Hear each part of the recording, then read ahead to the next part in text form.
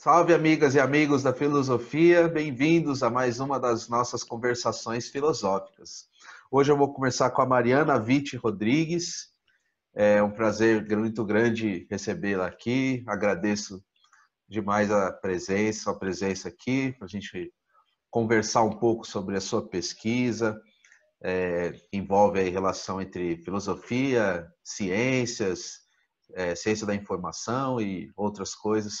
Eu, pedi, eu vou pedir para você mesma se apresentar um pouco melhor, pessoal que não te conhece. Tudo bom, Mariana? Olá, Caio, tudo bom? Primeiro, gostaria de agradecer pelo convite. Eu acho o trabalho muito interessante de divulgação. É, em momentos como esse que a gente está vivendo, a gente vê que a gente precisa preencher esse abismo né, que existe entre nossas pesquisas da academia e as pessoas da comunidade geral, que não necessariamente têm menos conhecimento do que a gente tem na academia. Né? É, eu entrei na Unesp em 2007, eu cursei filosofia, fiz licenciatura e bacharelado, e durante a minha graduação eu consegui uma bolsa de iniciação científica, olha só, é, tão necessário, que foi tão necessário para minha é, formação para tentar entender o conceito semiótico de informação. E aí foi que eu entrei é, nos estudos de semiótica parciana e, e, nos estudos da filosofia da informação. Terminando é, a minha graduação, eu entrei no mestrado e eu já comecei a é, aí um pouquinho para o lado da filosofia da ciência, tentar entender esse processo de, de descoberta científica, que tem esse nome, né, esse tipo de raciocínio que a gente chama de abdução ou retrodução, que é esse tipo de raciocínio de que se que tenta explicitar como que novas hipóteses surgem, como que os cientistas e as cientistas geram novas hipóteses. Então, eu me questionava qual seria é, o, a relação entre a informação é, em seu caráter semiótico e esse processo de descoberta científica. Aí eu terminei o meu mestrado e eu lembro que na minha defesa o, a banca falou que o trabalho estava bom, mas era um trabalho em progresso, ou seja, estava bom como um trabalho em progresso, tinha muita coisa para ser feita ainda. E aí foi que eu fui fazer o doutorado. Quando eu passei no doutorado, eu estava basicamente fazendo ainda a mesma questão, tentando entender o processo de descoberta científica, tentando entender melhor o conceito de informação e tentando entender esse processo de geração de novas hipóteses. Eu fiz o doutorado pela e, e o meu mestrado também foi pela Universidade Estadual Paulista, Unesp, aqui de Marília. É, e aí o meu doutorado foi pela Universidade de Copenhague, que mais uma vez eu fui eu tive a sorte de ter feito num período que ainda existiam bolsas de estudos, então fui contemplada pela CAPES, no programa Ciências Sem Fronteiras, só que naquele, naquele edital que não era ciências, porque filosofia não estava no edital para Ciências Sem Fronteiras. Então eu fiz o meu doutorado pleno no exterior, e lá eu saí com o título de doutorado em Filosofia da Ciência e Estudos de Ciência. O que isso significa? É, não é tão a filosofia da ciência lá não é tão estrita quanto aqui no Brasil. Você pode envolver outros estudos que aqui seria considerado sociologia da ciência é, ou antropologia. Mas eu fiquei mais mesmo na área de é, nessas, nessa intersecção entre áreas, né? Então seria filosofia da informação, filosofia da ciência e semiótica, tentando entender é, essa relação. Mas lá, é, como eu fiz muitos cursos é, com, é, rodeada por cientistas, então não era os meus colegas de curso, eles não eram filósofos ou não necessariamente eles estavam estudando filosofia, eles estavam estudando ciência. Então eu estava sempre bem curiosa. Eu chegava e perguntava, mas o que, que você estuda? É, aí até eu morei com uma italiana, né? Eu perguntei, que, super animada, o que, que você estuda? Ela, ah, eu não sei o que eu vou estudar. Eu vou estudar óleo de maçã, eu vou estudar suco de maçã, eu vou estudar óleo de oliva. Eu, mas como assim você não sabe o objeto do estudo? E eu comecei a perceber que a ciência é muito diversa e ela tem muitas coisas que quando a gente fica só estudando os conceitos mais complexos de filosofia da ciência, a gente não, não entende. E aí eu comecei a abrir um pouco o horizonte e eu também comecei a tentar estudar muitos estudos de caso. que principalmente fora da física, porque como eu não tenho formação em nenhuma ciência, é muito difícil entender os estudos de caso, mas eu estou tentando fazer isso. É, então, como eu me interesso bastante por, por biologia, medicina e, e cognição não animal não humana, eu me enveredei um pouco por esse lado na minha, no meu doutorado, mas foi mais como tentando tatear uma área que eu ainda desconheço. E aí agora eu vejo que tem como é, a gente entender coisas que não fazem da nossa parte da nossa especialidade, se é que a gente pode chamar de especialidade, e, e que é fundamental, na verdade, para entender os estudos da ciência. E só que esse trabalho ele é inevitavelmente interdisciplinar e ele inevitavelmente depende da comunidade.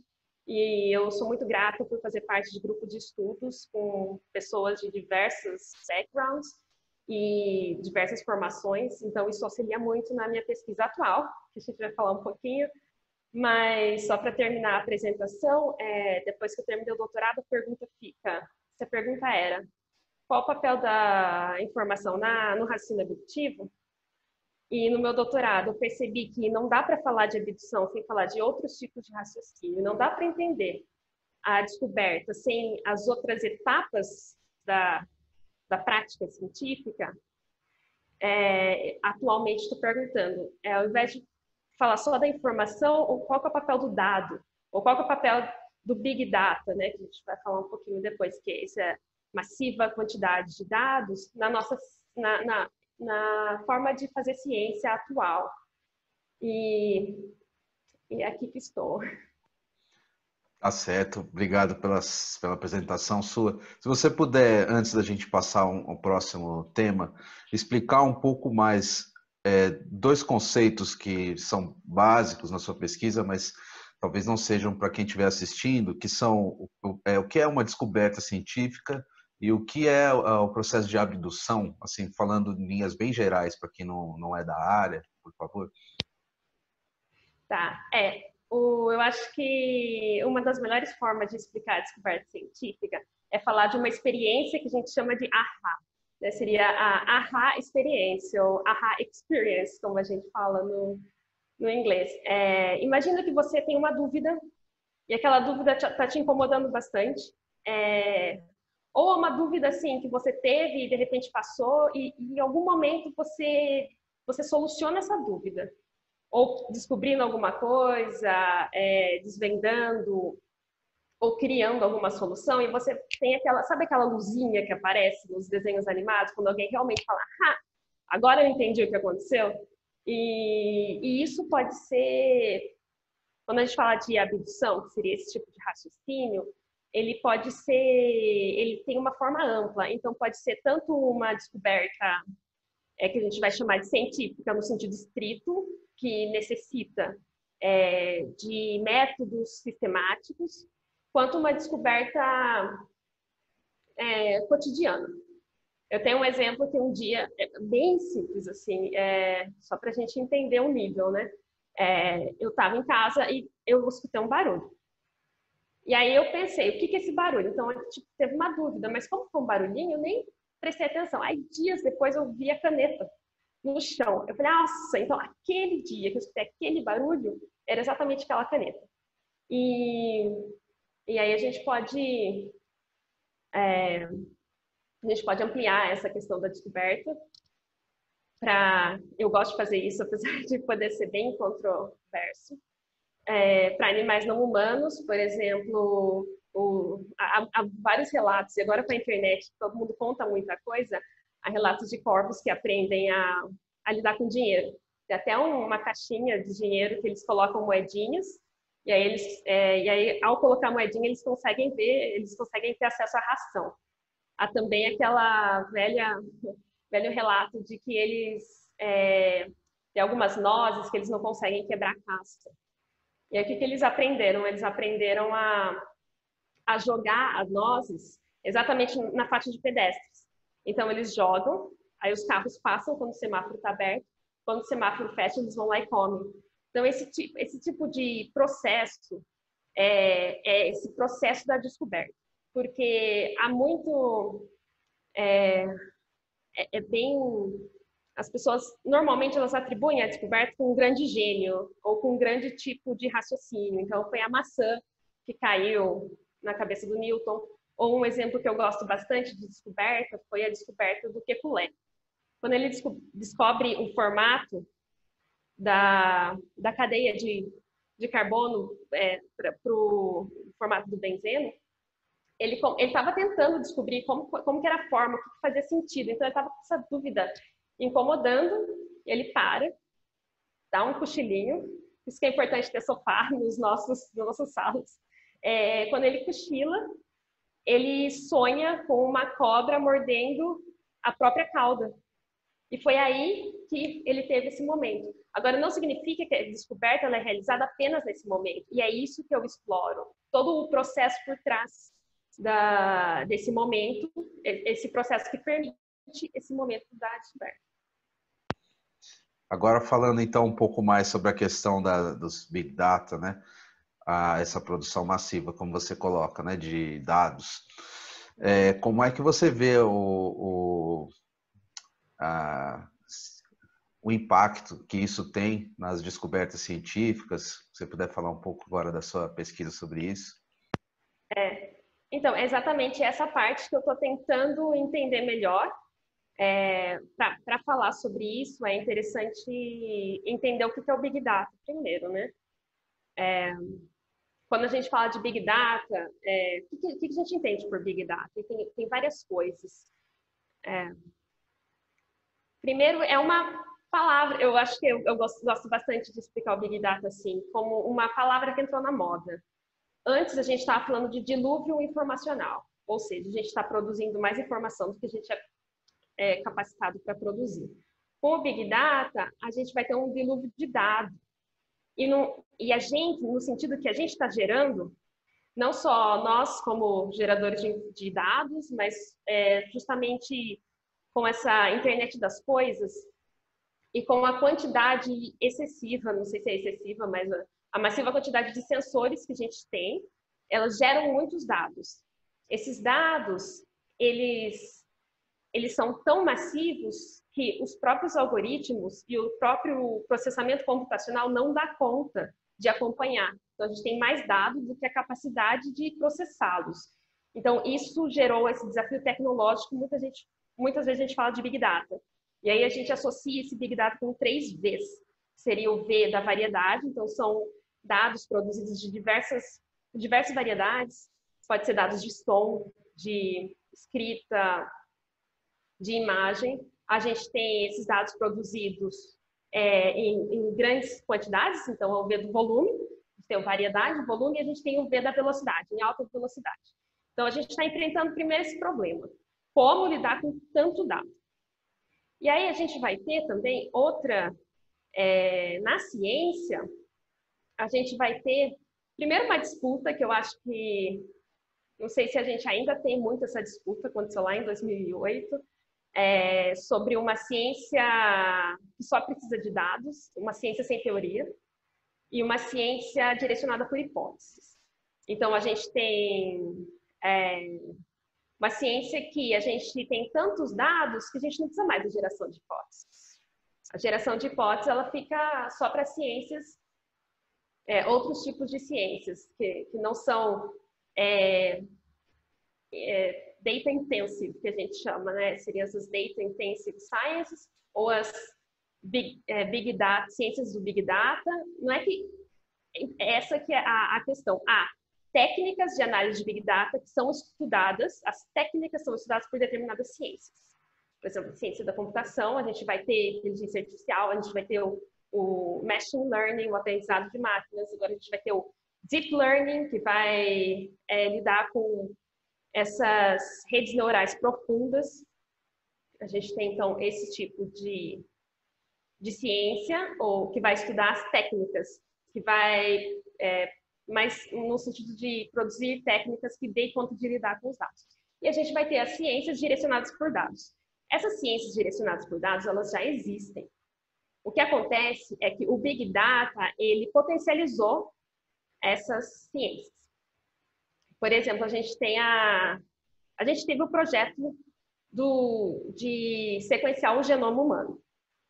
A gente demorou muito tempo para sequenciar o genoma humano, que agora, com as novas técnicas de Big Data, a gente, é, a gente consegue sequenciar muito mais rápido, e a previsão é que a gente é, sequencie ainda mais rápido no futuro.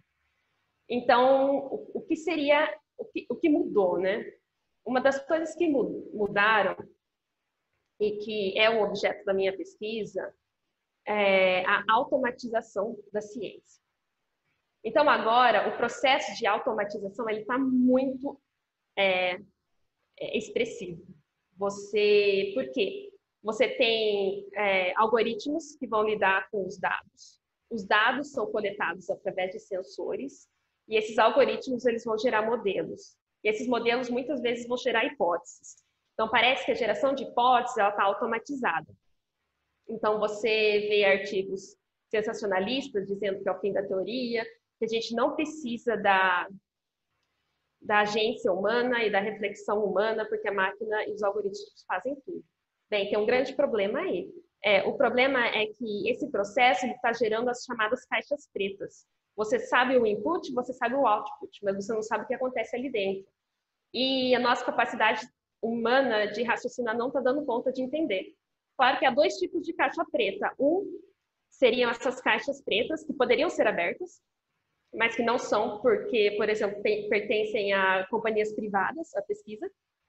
E o outro seriam caixas pretas que elas não, não conseguem, você não consegue entender o raciocínio ali, se é que a gente pode falar do raciocínio da máquina ali. Porque como trabalha com rede neural profunda, há muitas camadas nessa rede neural e a gente não consegue ter acesso ao que está acontecendo ali. A gente só vai ter acesso ao output. Então é isso que esse, esse é um dos processos da automatização da ciência. É. Só mais uma coisa. É, apesar disso, há autores falando que agora cada vez mais é mais necessário ainda o raciocínio humano. E, e eu vejo isso por por dois motivos. Um, é, e, esse, e, e essa, essa, pesquisa faz parte do que eu estou trabalhando atualmente, que seria entender até que ponto é, esses algoritmos ou essa automatização da ciência nos permitem identificar é, relações causais entre variáveis. Ou seja, que seria uma relação causal? Seria quando a gente entende que, uma vez que chove, o chão molha, de uma maneira bem simples. É, só que muitos algoritmos, e segundo alguns é, pesquisadores, todos os algoritmos de inteligência artificial, deep learning, machine learning, eles trabalham com apenas associação. Então, você tem associação entre duas variáveis. Então, você encontra facilmente esse tipo de associação. Então, você sabe que tem uma associação ali entre chuva e grama molhada. Só que você não sabe se é a grama molhada que causou a chuva ou se é a chuva que causou a grama molhada. Então, esse tipo de relação direcional, um, um tem efeito sobre o outro, a gente ainda não conseguiu, é, ou não sei se a gente ainda não conseguiu, ou se a minha pesquisa ainda não chegou lá, é, identificar esse tipo de coisa, na, esse tipo de relação nessa automação do processo científico. E outro aspecto, eu tenho a sorte de estar trabalhando no projeto interdisciplinar é, financiado pela FAPESP, sobre Big Data e a dinâmica da opinião pública. E nesse projeto, a gente tem é, cientistas da computação trabalhando com a gente, a gente está tentando desenvolver um modelo, e você percebe que quando a gente está tentando desenvolver esse modelo, a gente usa algoritmos conhecidos, mas a gente também tem várias escolhas. Então, a pessoa, a pessoa que está desenvolvendo o modelo tem que escolher entre diferentes parâmetros, os pesos entre os parâmetros, para no final desenvolver um modelo que, com o input do dado, vai gerar um output para a gente.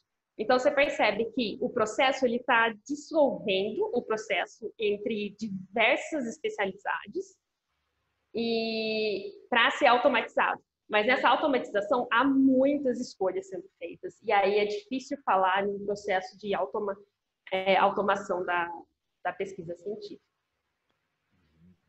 Mariana, é, você publicou recentemente um texto falando sobre a questão da cloroquina, né? Que está em voga agora, né? O governo brasileiro está querendo ministrar isso a despeito do que dizem os cientistas, né? E você fez uma comparação com outra, é, outra, outro remédio miraculoso que apareceu contra o câncer, né? Se você puder falar um pouco de, do que você escreveu, também a gente deixa na descrição do vídeo o link depois para o texto, para as pessoas uhum. terem acesso, né? Me parece que é uma questão bastante pertinente e atual. Isso. É, é, então, foi até engraçado que eu escrevi o texto e aí o assunto ele se desvaneceu. Aí, de repente, com a saída do segundo ministro, é, o texto ele reapareceu e a sua importância. É, exato. Então, é, a questão é, a gente tem, eu faço nesse texto, eu faço a comparação entre duas drogas é, e como a gente chegou através do método científico ou através do não método científico a essas duas drogas. E o texto mostra é, a importância da divulgação científica também. Porque, para quem não sabe, o processo de, de, realização de um experimento, a publicação de um experimento, passa por diversas fases. E uma dessas fases, por exemplo, é, seria quando você publica, o seu texto ele é revisado pelos pares, por pessoas especialistas como você, e aí vai ser publicado. Com a questão do coronavírus, é, e com a urgência da gente entender melhor o processo, é, várias coisas, né? Como ele se alastra, qual é a taxa de mortalidade, é, qual seria uma possível vacina. Há muitas revistas publicando e é, é, com aberto, né? Open access, o que é ótimo, e, e o que a gente chama de preprint, ou seja, antes de passar por revisão dos pares, o artigo já é publicado. E só que uma vez que o artigo está na internet, ele pode ser utilizado para tomada de decisões. Isso é bom? Isso é bom, porque a gente precisa tomar decisões. E, e é interessante a gente tomar decisões embasadas na ciência. Mas, ao mesmo tempo, que tipo de ciência a gente está falando e que tipo de método científico a gente está falando? É, então, no caso da cloroquina, a, primeiro há duas drogas, né? A cloroquina e a hidroxicloroquina. É, a gente está falando aqui da hidroxicloroquina, que ela é menos tóxica que a cloroquina, ela é usada para diversos tratamentos. E, e aí pensou-se, ou seja, teve a hipótese de que ela podia ser uma, é, um possível tratamento para o Covid-19, é, que é o novo coronavírus. É, e aí foi feito um estudo francês publicado é, em preprint, e esse estudo, ele todo o artigo científico ele tem a parte do método, né? Aí quando você vai lá no método, você vê que ele é não randomizado e ele não é duplo cego. E foi justamente isso que eu escrevi no artigo. Que seria randomizado? Bem, é, e essa foi uma técnica desenvolvida pelo Fischer, que é um modo de você trabalhar com populações, você trabalhar com amostras dentro de populações, a partir dessas amostras, você tem uma noção de como é, como será o comportamento dessa população. Só que para você evitar parcialidades, você precisa randomizar, ou seja, você precisa pegar pessoas aleatoriamente. Não pode pegar escolher as pessoas. Além disso, há um, um outro problema que, que pode gerar parcialidade, que seria o que a gente talvez chame de efeito placebo. Para evitar esse efeito placebo, ou seja, os tipos de efeitos que vão influenciar no resultado da, da pesquisa, a gente precisa do que a gente chama de duplo cego. Então, primeiro, o que não foi feito foi escolher pessoas de forma aleatória. Você pega essas pessoas, separa em dois grupos. Por quê? E aqui vem a questão da causalidade. Eu quero entender qual é a causa. Seria tratamento com hidroxicloroquina. É, na cura, ou na não exatamente cura, né, porque a gente não tem cura ainda para o coronavírus, mas um tratamento factível ou que melhore os sintomas do novo coronavírus nas pessoas. Para você saber se ela funciona ou não, você precisa é, comparar dois grupos: um que recebe a droga e um que não recebe a droga. Isso precisa ser feito de forma aleatória, não foi feito. E uma vez que você separa esses dois grupos, você, as pessoas que estão tomando, recebendo o tratamento, não podem saber se elas estão ou não recebendo o tratamento. Porque se elas estão recebem tratamento, pode acontecer que elas ignorem certos sintomas ou elas aumentem certos efeitos colaterais. Entende? Por exemplo, você está com dor de cabeça e aí você sabe que está tomando o remédio, você sabe que o remédio te dá dor de cabeça, você pensa que a dor de cabeça é causada pelo remédio. Quando a dor de cabeça pode ter sido causada por excesso de gordura que você comeu no dia anterior, por exemplo. Então, esse tipo de efeito pode ser gerado. É... E nesse caso da hidroxicloroquina, nesse estudo francês, não foi feito isso. As pessoas escolheram se iam participar do tratamento ou não. Esse é o primeiro cego. O segundo cego é, é, significa que os próprios médicos não podem saber quais pacientes estão recebendo o, a droga e qual, qual não. Justamente também para evitar essa parcialidade por parte dos médicos. Ou seja, os médicos acharem que aqueles diminuir ou aumentar um tipo de sintoma porque sabe que aquele paciente está tomando aquele tipo de droga. Aí, por que, que eu fiz a comparação com, o, com essa pílula do câncer, que é a fosfoetanolamina? É, porque ela, eu acho que foi ainda pior, em certo sentido, é, há diferenças, né? Mas o que as semelhanças são que as duas elas foram amplamente divulgadas para a sociedade sem um estudo clínico satisfatório. Agora a hidroxicloroquina, por que ela é mais grave? Porque ela está sendo distribuída em kits, por dizem, né, que está sendo distribuída em kits pelo Brasil e ela tem severos efeitos colaterais. Ela pode matar, né, por infarto. Tanto é que teve casos de pessoas que morreram é, com suspeita de coronavírus porque tomaram hidroxicloroquina, tiveram um infarto, depois descobriram que não estava com coronavírus. Então, a própria droga levou ao óbito a pessoa. E enquanto a fosfoetanolamina ela não tem efeitos colaterais, pelo que, pelo que se entende. O efeito colateral da fosfoetanolamina é a esperança. Ou seja, você dá a droga e você você dá a esperança ao paciente de câncer que ele vai ser curado do câncer dele. Bem, câncer não é uma doença, há diversos tipos de câncer. Você ataca diversos tipos de câncer com diversos tipos de tratamento. Então, se há qualquer droga que surja resolvendo uma do câncer, a gente pode já desconfiar que essa droga ela é, ela é complicada. É, e aí você entrega essa, essa medicação. Imagina que fosse, mesmo que fosse uma cápsula de açúcar, qual seria o problema? Digamos que a cápsula de açúcar ela não vá gerar nenhum efeito colateral, só que ela pode fazer com que a pessoa não tome outras providências. E isso pode ser fatal.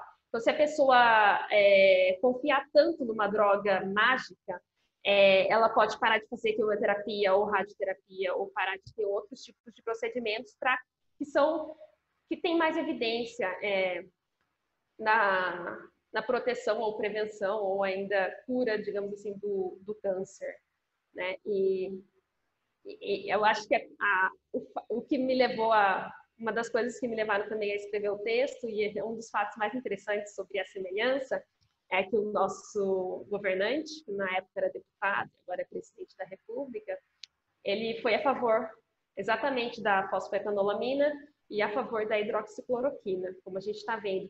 E aí essa é a semelhança de basear um discurso e agora afeta o discurso, infelizmente afeta muito muito mais, baseado em não ciência, uma ciência é, é, mal feita, né? Mas uma, não é a questão do hidroxicloroquina não é falar que ela não resolve, mas é entendê-la como uma hipótese e perguntar, ela resolve? Aí sim a gente pode indicar. E pelo que a gente está perguntando, a gente já perguntou, ela, e a gente está respondendo a resposta que não, não resolve. Não resolve em casos graves, não resolve em casos é, moderados e leves. É, então, é, foi isso que motivou uhum. o artigo.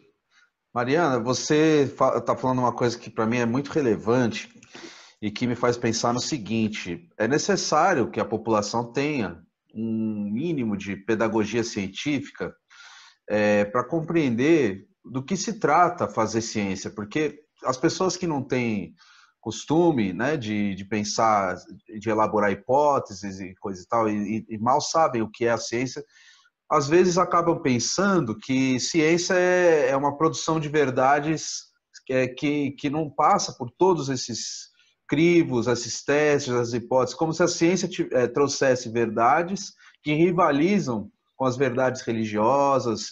É, eu penso, por exemplo, no, no nosso país, aqui a gente tem um pastor que, que divulgou é, um, um, uma semente de feijão dizendo que aquilo traria a cura para o coronavírus, né? E muita gente acreditou.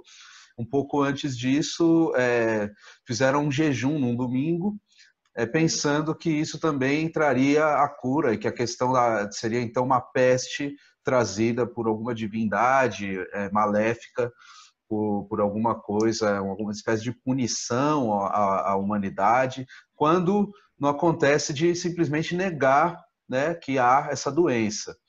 Então, o que eu queria te perguntar é o que, que você pensa sobre as possibilidades de tornar o conhecimento científico e o método de produção científica mais acessível para uma população mais ampla, né? não para que todos façam ciência, mas pelo menos para que todos entendam né, minimamente por que a ciência é importante, não por trazer verdades, mas por colocar as verdades sempre sobre o crivo, sempre sobre críticas, sobre testes, hipóteses e testes.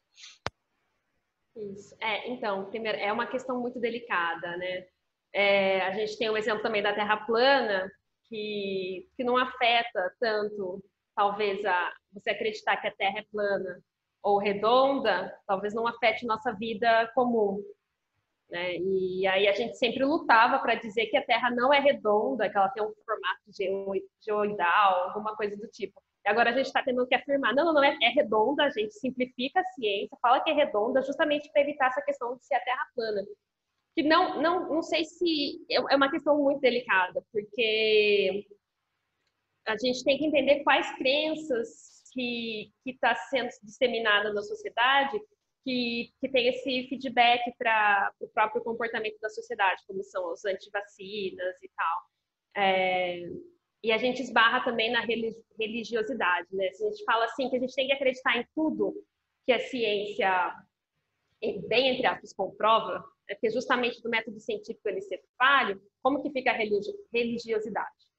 Né? Então, a... por isso que eu acho que é uma linha muito fina, um debate muito delicado que a gente tem que ter é, por exemplo, se questionar qual é a diferença entre acreditar que a Terra é plana e que a vacina não funciona. E nisso a gente precisa de política pública. Agora, em relação à educação, a, a gente realmente precisa de, de educação é, de qualidade nas nossas escolas públicas e, e, acabar com aquele mito também, né? Tem um mito, é, eu até ouvi de pessoas formadas, que o importante na escola é ensinar português e matemática. Porque o português ensina a interpretar texto e a matemática fazer conta.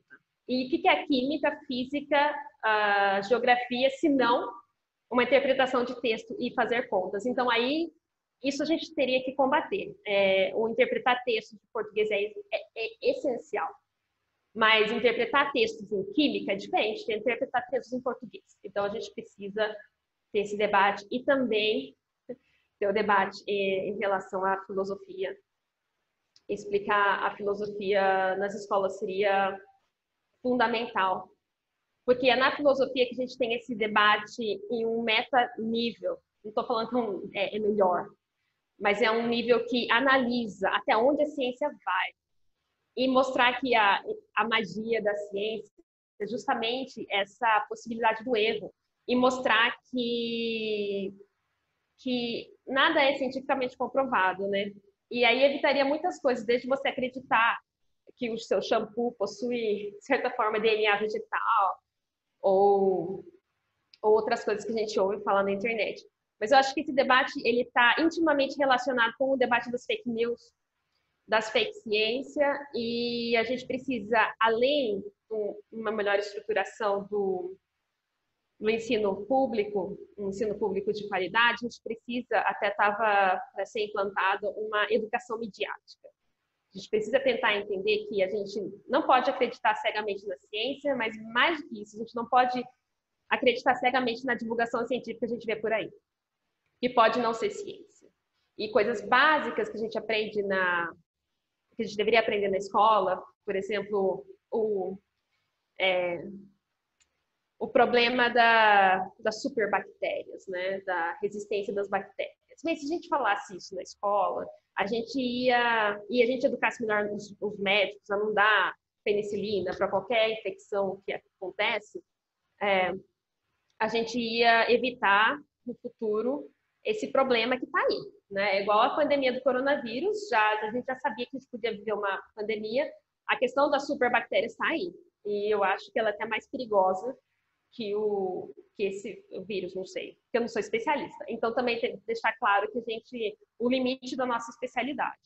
É, mas a gente não, infelizmente, eu não tenho acesso a melhorar a educação da, da escola, né? O que, que a gente pode fazer é realmente o que você está fazendo, uns amigos meus estão fazendo e que eu estou tentando fazer, é, que é justamente essa divulgação e, e descer um pouco para falar é, para falar com as pessoas em geral, tentar fazer com que as pessoas que não tenham esse tipo de educação entendam é, alguns conceitos importantes e tentar fazer isso é, com o conhecimento que elas próprias têm. Então, por exemplo, ao invés de falar de descoberta científica no nível é, de filosofia da ciência, ou no nível da, é, não sei, da descoberta é, da cristalografia, por exemplo, que é uma coisa que qual que, qual que é né, a relevância de falar de cristalografia para uma pessoa, para minha mãe, por exemplo? Falar do que ela, eles entendem. É, então, qualquer descoberta que eles fazem, e, e aí você faz com que eles apliquem no próprio método científico na vida cotidiana. E isso talvez é algo que a gente possa fazer para ver o que, que é científico, o que, que não é científico, o que, que é autoridade. Ou seja, eu estou fazendo isso porque eu acredito que aquela pessoa falou é verdade, ao invés de que a experiência está mostrando para mim. Então, acho que é esse tipo de coisa que a gente pode fazer por enquanto. Tá certo, Mariana. Agradeço muito sua presença, ter compartilhado aqui com a gente um pouco do seu conhecimento, da sua pesquisa. É, queria abrir para você fazer suas considerações finais, por favor. Tá. É, eu gostaria de agradecer é, e, e dizer que estou muito feliz com a iniciativa.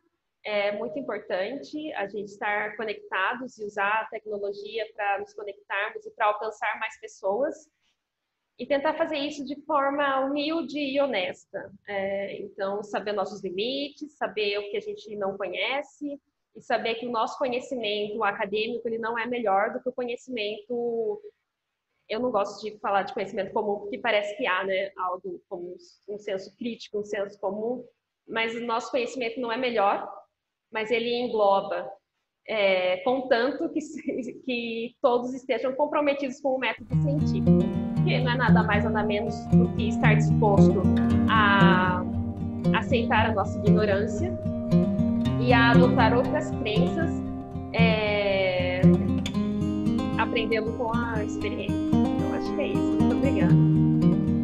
Eu que agradeço, Mariana, e vocês que assistiram a gente até aqui também agradeço. Fiquem ligados aí nas próximas conversações filosóficas.